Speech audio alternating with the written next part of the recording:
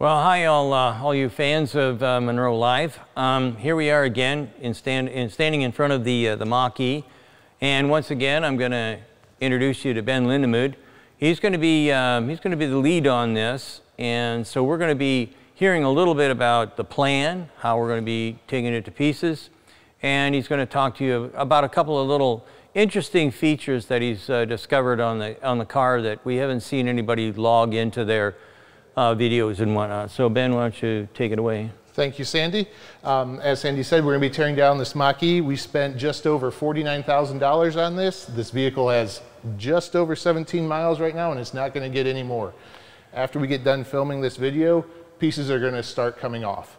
We're going to start with the frunk, take components out in there, move back to the trunk, remove all of the interior trim in the trunk, and then we're going to start uh, on some closures and some interior.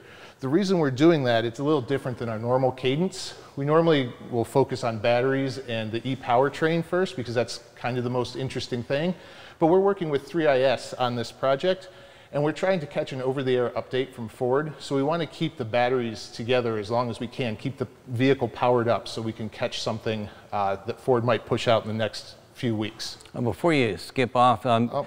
3IS, um, you remember the, uh, the little discussion that I had with um, the two guys from 3IS uh, a little while ago.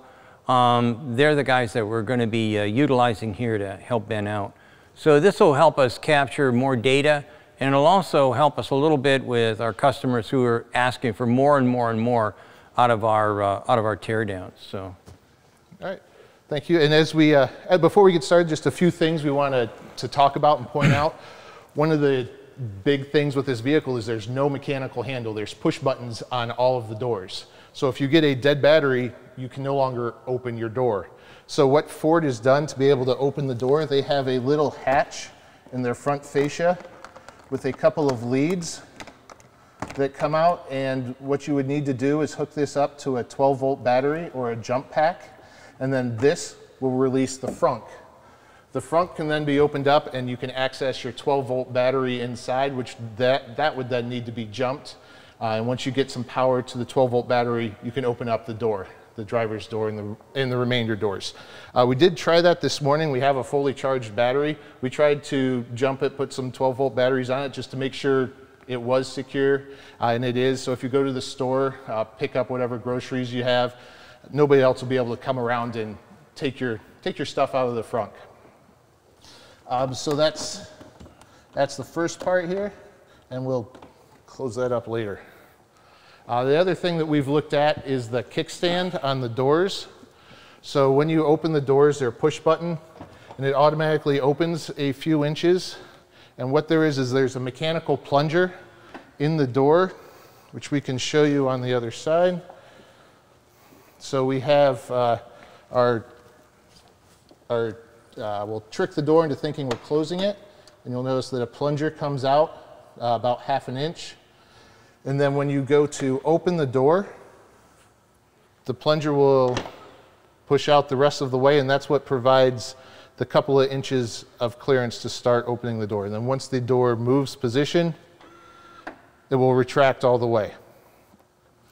So again, close the door, the plunger starts to engage, and then when you open the door, the plunger will, will go out the rest of the way. And that is especially useful on the rear door as there's no handle on the rear door. You open the door, and you have to put your hand behind it. Because the plunger is out, this will prevent the door from closing and pinching your hand until you start to open the door. So if uh, you've got a kid that's running around and runs into the door, you're not going to get your hand slammed into the door. All right, and then we uh, also have noticed a little bit of oil canning that's happening on the rear quarter panel. So it's a little bit more than what you would see in a typical vehicle. Not a whole lot of force here is required to create that oil canning effect.